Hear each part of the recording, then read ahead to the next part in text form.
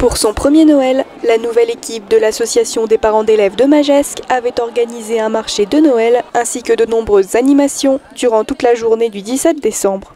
On a pris la suite et la succession, on s'est appuyé sur le passé pour ne pas faire les mêmes erreurs et surtout essayer d'amener une nouvelle dynamique à tout ça.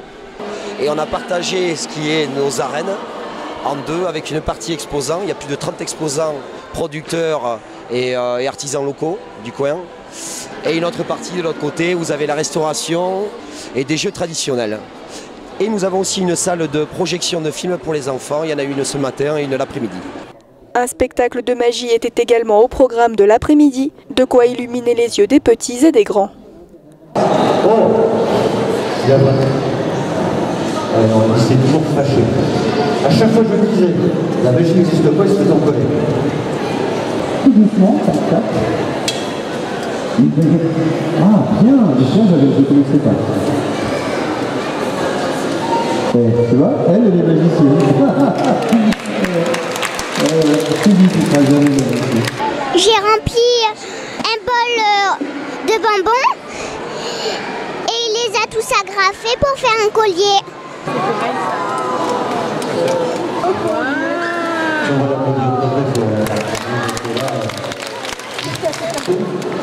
Et c'est lors de son dernier tour avant la fin du spectacle que le magicien a fait apparaître celui que tout le monde attendait. Peut-être que...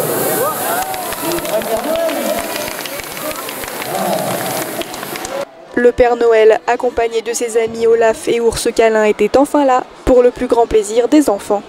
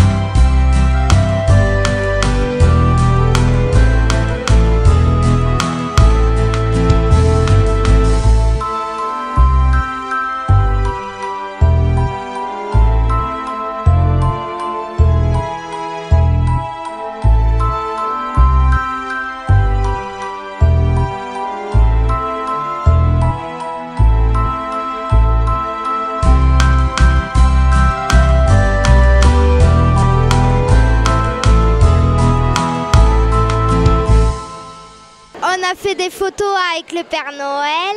On a vu Olaf et Ours Câlin. On a eu des Kinder et euh, des chocolats. C'était bien. Bonne humeur et esprit de Noël étaient donc au cœur de cette journée, comme le souhaitait l'APE. L'association compte d'ailleurs réitérer cet événement l'année prochaine. Tout le monde nous a dit que c'était super, donc ça nous fait énormément plaisir et euh, on aimerait que ce soit comme ça chaque année.